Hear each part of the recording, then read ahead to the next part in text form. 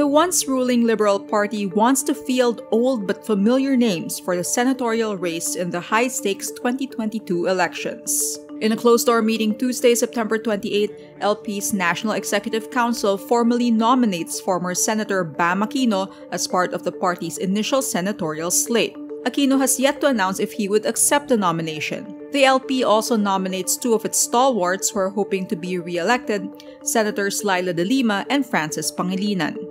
The LP also adopts a separate resolution endorsing the re-election bid of its ally Senator Risa Hontiveros of Akbayan and human rights lawyer Chel Diokno. The pressure is on for the senatorial bets of the Liberal Party, whose Ocho Derecho slate all lost against Duterte's candidates in the 2019 elections.